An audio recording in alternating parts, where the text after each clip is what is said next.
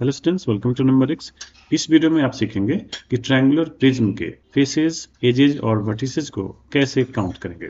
मैं आपको three D animation से बताने वाला हूँ तो वीडियो को ध्यान से देखिएगा। सबसे पहले हम समझ लेते हैं कि ट्रायंगुलर प्रिज्म होता क्या है।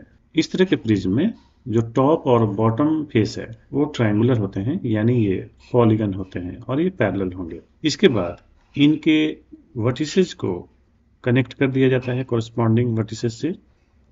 तो सबसे पहला फेस है यहाँ पर ये रेक्टेंगुलर फेस है, जो येलो कलर में दिख रहा है मैंने। दूसरा फेस यहाँ पर बन रहा है और तीसरा फेस फ्रंट में है।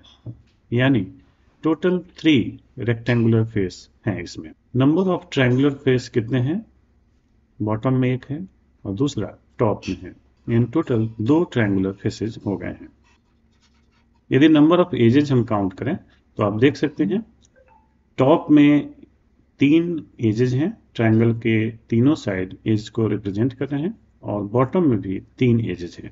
ट्रायंगल के वर्टिसेज को कनेक्ट करने के लिए एक एक पिलर या लाइन सेगमेंट है। इसको आप एज कहेंगे, यानी टोटल नंबर ऑफ़ एज होंगे थ्री टॉप के थ्री बॉटम के और थ्री वर्टिकल हैं, यानी नाइन हो गए। इसके बाद हमें वर्टिसेज को काउंट करना है।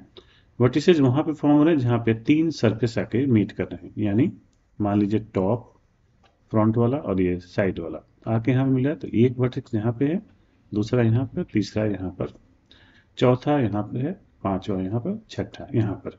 यानी total number of vertices three plus three six हो गए आपको ये वीडियो कैसा लगा? कमेंट में ज़रूर बताएँ। यदि आप चैनल पर नए हैं तो चैनल को सब्सक्राइब करना ना भूलें। Thanks for watching